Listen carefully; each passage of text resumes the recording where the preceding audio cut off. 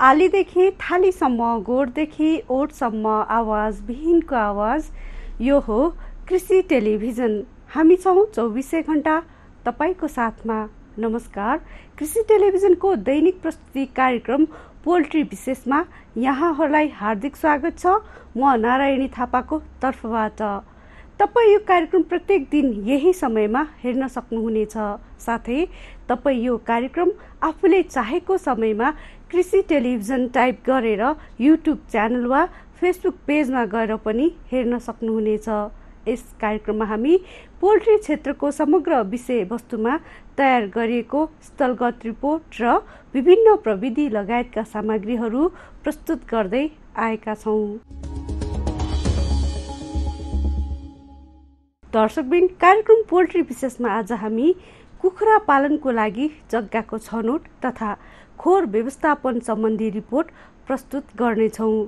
कुखुरा पालन व्यवसाय यस्तो व्यवसाय हो जसमा जग्गाको छनौट र खोर निर्माणदेखि उत्पादन बजारीकरण चरणसम्म वैज्ञानिक तवरले नियम र सूत्रहरू अवलम्बन गर्नुपर्छ।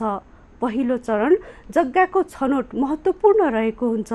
उपयुक्त जग्गाको छनौट गर्न सकिएन भने व्यवसाय सञ्चालनको क्रममा अनेक बाधा व्यवधान आउनका साथै कुखुरा व्यवसाय नै धराशायी बन्न सक्छ। यसै सन्दर्भमा रहेर बनेको रिपोर्ट हेरौँ अबको प्रस्तुतिमा।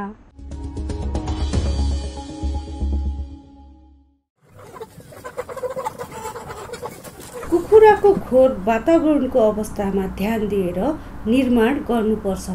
खोर निर्माण गर्दा चिसो तातो हावा पानीबाट रक्षा गर्ने हिसाबले बनाउनु पर्छ कुखुरा रहेको ठाउँमा हावा जाने आउने ठाउँ हुनु पर्दछ र बाह्य परभक्षीलाई रोक्ने खोर बनाउनु पर्दछ विभिन्न किसिमका खोरहरू आफूलाई अनुकूल हुने हिसाबले बनाउन सकिन्छ जस्तै पक्की इँटाको गाह्रो लगाएर तथा बाँसको चोयाले पनि बनाउन सकिन्छ।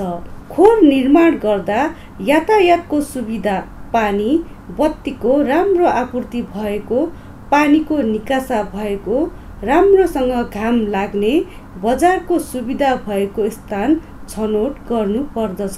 कुखुराको खोर निर्माण गर्दा पूर्व पश्चिम दिशालाई खुला राख्नुपर्छ जसले गर्दा सूर्यको प्रकाश खोरमा छिर्न सकोस्।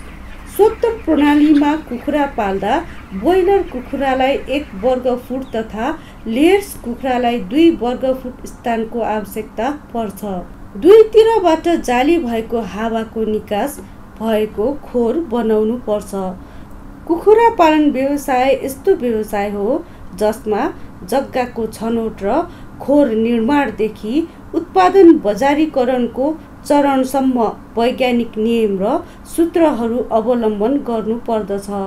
जग्गाको छनौट व्यवसायको निम्ति सुरुको सबैभन्दा महत्त्वपूर्ण चरण हो। उपयुक्त जग्गाको छनौट गर्न सकिएन भने व्यवसाय सञ्चालनको क्रममा अनेक बाधा व्यवधान आउन सक्छन् र लगानी नउठ्दै व्यवसाय धराशायी बन्न सक्छ। निम्न गुणहरू भएको जग्गालाई कुखुरा पालनको लागि उपयुक्त मान्न सकिन्छ। जग्गा छनौट। घना बस्ती तथा आवास क्षेत्रबाट टाढा अवस्थित हुनुपर्ने व्यावसायिक पक्षी फार्म तथा ह्याचरी सञ्चालन निर्देशिका दुई हजार एकहत्तर बमोजिम पक्षी फार्म मानिस बस्ने घना बस्तीबाट कम्तीमा सय मिटरको दूरीमा हुनुपर्नेछ। यद्यपि यो निर्देशिकामा अन्य जनघनत्व बढी हुन सक्ने ठाउँहरू जस्तै स्कुल कलेज मन्दिर मैदान जात्रा लाग्ने स्थल आदिबाट कति तथा हुनुपर्ने भन्ने स्पष्ट उल्लेख गरिएको छैन। त्यस्ता जनघनत्व बढी हुन सक्ने स्थलहरूबाट पनि फार्म जतिसक्दो टाढा अवस्थित भएको उपयुक्त हुन्छ। व्यस्त सडक र बजार क्षेत्रबाट टाढा हुनुपर्ने व्यावसायिक पक्षी फार्म तथा ह्याचरी सञ्चालन निर्देशिका दुई हजार एकहत्तर बमोजिम पक्षी फार्म राष्ट्रिय राजमार्गबाट कम्तीमा पनि दुई सय मिटर टाढा हुनुपर्नेछ।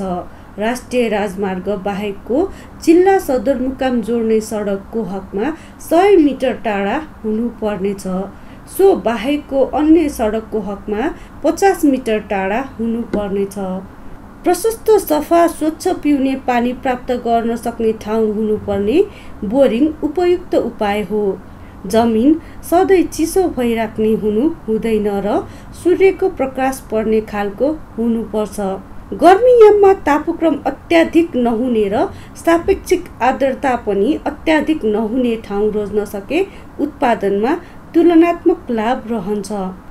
दाना औषधि भ्याक्सिन इक्विपमेन्ट तथा उत्पादन बजारबाट फार्म र फार्मबाट बजार ओसार पसार गर्न मिल्ने खालको हुनुपर्नेछ खोर बनाउने जग्गा खाला परेको एवं पानी जम्ने किसिमको हुनु हुँदैन। केही उच्च परेको भूभाग र वरिपरि पानी नजम्ने र ढल निकास बनाउन सकिने खालको भएको राम्रो हुन्छ। अन्य स्थापित पोल्ट्री फार्मदेखि टाढा हुनुपर्नेछ व्यावसायिक पङ्ची फार्म तथा ह्याचरी सञ्चालन निर्देशिका दुई हजार एकहत्तर बमोजिम एक ह्याचरीदेखि अर्को ह्याचरीको दूरी कम्तीमा दुई सय मिटरको फरकमा हुनुपर्नेछ। बिस हजारभन्दा बढी सङ्ख्यामा पक्षी पालन गरिने स्थानको हकमा फार्महरू बिच सय मिटर दुरी हुनुपर्नेछ। अन्य फार्मको हकमा दस मिटर फरक हुनुपर्नेछ त्यस्तै ग्रान्ड प्यारेन्ट फार्मबाट अन्य फार्मको दूरी कम्तीमा एक किलोमिटर हुनुपर्नेछ भनी उल्लेख भएको छ। जैविक सुरक्षाको दृष्टिकोणबाट हेर्दा उपरोक्त दूरीहरू असाध्यै कम उल्लेख भएको छ। उपरोक्त दूरीहरू जतिसक्दो धेरै कायम गर्न सक्यो पक्षी पालन व्यवसाय उति नै सुरक्षित हुनेछ। खोर निर्माण। कुखुराको खोर यसरी निर्माण गर्नुपर्छ ताकि कुखुरा सुरक्षित त रहोस् नै साथसाथै अधिकतम उत्पादनको लागि उपयुक्त वातावरण पनि मिलोस्। खोरको बनोट उपयुक्त भएन भने विभिन्न स्वास्थ्यजन्य समस्या आइपर्छ र सोचे अनुरूप उत्पादन लिन सकिँदैन। कुखुराको खोर निर्माण गर्ने क्रममा निम्नलिखित कुराहरूमा ध्यान दिनुपर्छ। खोरको लम्बाइ पूर्व पश्चिम र चौडाइ उत्तर दक्षिण हुने गरी निर्माण गर्नुपर्छ।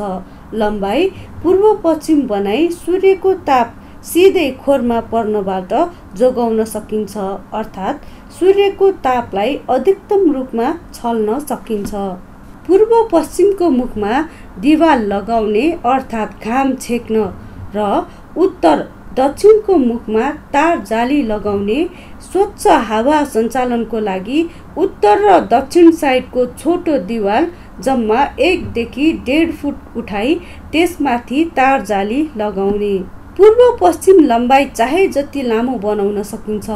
जग्गाको उपलब्धता र कृषकले गर्न सक्ने लगानीको आधारमा पाँच सय फिटसम्म लामो बनाउन सकिन्छ। तर लामो खोरमा पर्याप्त ढोका राख्न र जालीले पार्टेसन वा खण्डीकरण गर्न आवश्यक हुन्छ। ओपन हाउस प्रणालीमा उत्तर दक्षिण चौडाइ अठाइसदेखि तिस फिटभन्दा लामो बनाउन हुँदैन। ब्रोइलर कुखुराको हकमा चौडाइ बिसदेखि बाइस फिट मात्र राख्न सके अझै राम्रो हुन्छ। अनावश्यक धेरै चौडाइ भएको खोरमा हावाको सञ्चार राम्रोसँग हुन पाउँदैन। फलस्वरूप दुर्गन्ध हुने र स्वत्तर चिसो हुने समस्या रहन्छ। चिस्यानको कारणले विविध ब्याक्टेरिया जन्य सङ्क्रमणको समस्या पैदा हुन्छ। खोरको कुखुरा बस्ने सतह जमिनभन्दा केही माथि अवस्था हेरी दुईदेखि चार फिटसम्म उठेको हुनुपर्छ ताकि वर्षाको समयमा जमेको पानी खोरभित्र छिर्न नपाओस्। सकभर कुखुरा बस्ने सतह पक्का ढलान गरेको हुनुपर्छ। माटोको सतह भएमा रोग सङ्क्रमणको समस्या व्यापक हुन्छ। अघिल्लो लटको वयस्क कुखुराले खोरमा अनेक सङ्क्रमणका किटाणुहरू छोडेर गएका हुन्छन्। तसर्थ खोरमा एक लट कुखुरा पालिसकेर नयाँ लट पाल्ने तयारी गर्दै गर्दा खोरको सरसफाइमा विशेष ध्यान दिनुपर्छ। यसरी एकै खोरमा एक लट कुखुरा पालिसकेर नयाँ लट पाल्ने तयारी गर्दै गर्दा गरिने खोरको विशेष प्रकारको सरसफाइलाई कम्प्लिट हाउस क्लिन आउट भनिन्छ। माटोको सतह भएको खोरमा कम्प्लिट हाउस क्लिन आउटको प्रक्रिया अवलम्बन गर्न सम्भव हुँदैन। जग र सतहको ढलान पक्का किसिमको निर्माण गर्नुपर्छ ताकि मुसा सर्प स्याल बिरालो आदि प्वाल बनाएर खोरभित्र छिर्न नसकुन्। कतिपय राम्रो आधुनिक खोरमा मुसाबाट जोगिन मुसा निषेधक प्रविधि अपनाइएको हुन्छ। खोरको साइडको उचाइ कम्तीमा नौदेखि दस फिट हुनुपर्छ। उचाइ कम भएमा हावाको सञ्चार कम हुन्छ। साथसाथै गर्मीमा हिट स्ट्रेसको समस्या व्यापक हुन्छ। खोरको बिचको उचाइ कम्तीमा तेह्रदेखि चौध फिट हुनुपर्छ। टिनको छानो प्रयोग गर्न सकिन्छ। गर्मी मौसममा कुखुरालाई हिट स्ट्रेसको प्रभावबाट जोगाउन छाउने बेलामा नै टिनको बाहिरी भागलाई सेतो रङले पोद्दा उपयुक्त हुन्छ। टिनलाई खरले ढाकेर गर्मीको तनावलाई न्यूनीकरण गर्न सकिन्छ। साइडमा टिनको पाता तार जालीभन्दा दुईदेखि तिन फिट परसम्म फैलिएको हुनुपर्छ ताकि वर्षामा छड्के बाछिटो पर्दा खोरभित्र नपरोस्। तार जालीको बाहिरीतिर प्लास्टिक पर्दा झुन्ड्याउने र आवश्यक अनुरूप खोल्ने लगाउने गर्नुपर्छ। तलबाट माथि खोल्ने खालको भन्दा पनि आधुनिक पुल्ली सिस्टममा जडित माथिबाट तल खोल्न मिल्ने खालको पर्दा उपयुक्त हुन्छ। पुल्ली सिस्टमले गर्दा एकै ठाउँमा उभिएर पुल्ली खटाई पुरै खोरको पर्दा सजिलै लगाउन वा खोल्न सकिन्छ। यसबाट कामदारको पनि बचत हुन्छ। खोरको वरिपरि पक्का पेटी भए राम्रो हुन्छ। यसले कामदारलाई हिँडडुल गर्न सजिलो हुनुका साथसाथै बाहिरी वातावरणबाट कुखुराको सम्पर्कलाई टाढा बनाउँदछ भने जैविक सुरक्षाको नजरले पनि राम्रो हुन्छ। यसले गर्दा सरसफाइ गर्न पनि सजिलो हुन्छ। खोर सरसफाइ गर्दा निस्किने फोहोर पानीलाई निकास दिने नालाको व्यवस्था हुनुपर्छ। एकै फार्मभित्र एकभन्दा बढी खोर भएको अवस्थामा एक खोरदेखि अर्को खोर बिचको दूरीमा कम्तीमा पनि चालिस फिट हुनुपर्छ। सोभन्दा नजिक भए हावाको सञ्चार पर्याप्त नभई अनेक किसिमका स्वास्थ्यजन्य समस्या आइपर्छ। लम्बाइ अनुसार खोरमा पर्याप्त सङ्ख्यामा ढोका राख्नुपर्छ ताकि काम गर्न सहज होस्। ढोका अगाडि फुटबाथ बनाउनुपर्छ। फुटबाथमा नियमित रूपमा ताजा निसङ्क्रमण झोल राख्नुपर्छ। खोरभित्र पस्दा अनिवार्य रूपमा फुट बाथमा खुट्टा चोपेर मात्र पस्नुपर्छ। फुट बाथ कम्तीमा दुई इन्च गहिरो होस् ताकि खोरभित्र पस्ने क्रममा जुत्ता चप्पल राम्रोसँग भिजोस्। पानीको ड्रम उचाइमा तर छाया पर्ने गरी राख्नुपर्छ ताकि गर्मीमा घामको किरणले तातिन नपाओस्। सकभर खोरभित्रै राख्ने व्यवस्था मिलाउन सके उचित हुन्छ। तातिएको पानी कुखुराले कम खान्छ। पानी कम हुनाले गर्मीको तनाव बढी हुन्छ। पानीको खपत कम भएपछि दानाको खपत पनि कम हुन्छ र उत्पादनमा ह्रास आउँछ। साथै घामले तातिएको पानीमा ब्याक्टेरियाको वृद्धि पनि व्यापक हुन्छ। फार्ममा कुकुर बिरालो स्याल लगायत अन्य वन्यजन्तु साथै अनावश्यक व्यक्ति प्रवेश नगरून् भन्नका लागि फार्म परिसर वरिपरि तार जालीको बााउन्ड्री बनाउने।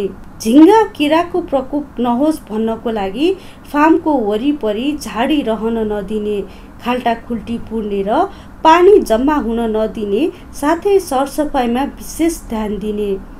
कहीँ कतैबाट चरा प्रवेश गर्न नमिल्ने गरी पाल रहित खोर निर्माण गर्ने।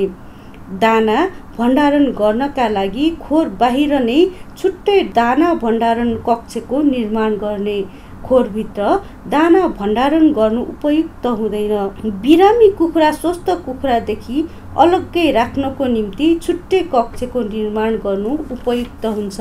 प्रत्येक फार्मको मरेको कुखुरा गाड्नको निम्ति खोरभन्दा पर डिस्पोजल पिट बनाउनु पर्छ पिठको मुखबाट ढकनको व्यवस्था हुनुपर्छ ताकि मरेको कुखुरा पिठभित्र खसालेपछि दुर्गन्ध नफैलियोस्। हजार कुखुरा क्षमताको खोरलाई छदेखि आठ फिट गहिरो र दुई फिट व्यास भएको मोर्टालिटी पिट वा डिस्पोजल खाल्टो आवश्यक पर्दछ। राम्रो फार्ममा पोस्टमार्टम गर्न छुट्टै ठाउँको व्यवस्था गरिएको हुन्छ। खोर बनाउँदा विज्ञसँग आवश्यक सल्लाह लिनु आवश्यक छ। कार्यक्रम पोल्ट्री विशेषमा आज हामीले कुखुरा पालनको लागि जग्गाको छनौट तथा खोर व्यवस्थापन सम्बन्धी एक विशेष रिपोर्ट प्रस्तुत गऱ्यौँ दर्शकबिन तपाईँलाई कार्यक्रम पोल्ट्री विशेष कस्तो लाग्यो? सल्लाह सुझाव तथा प्रतिक्रिया पठाउन नभुल्नुहोला। हवस् त आजलाई यति नै। भोलि फेरि यही समयमा पोल्ट्री क्षेत्रसँग सम्बन्धित नयाँ विषय र सूचनामूलक सामग्री लिएर आउने नै छौँ। तबसम्मका लागि म नारायणी थापा बिदा हुन्छु। जय कृषि जय किसान।